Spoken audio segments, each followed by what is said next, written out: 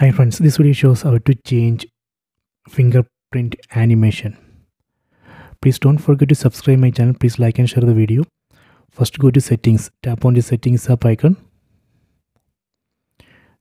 Go down. Select dynamic effects.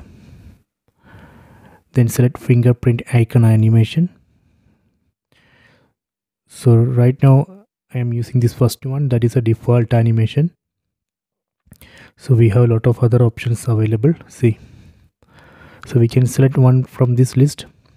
So let me select this third one then tap on apply. Okay done. So now i have changed uh, fingerprint icon animation. So let me test it.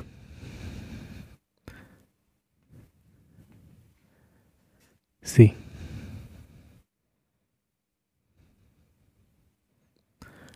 so this way we can change fingerprint icon animation. So please check it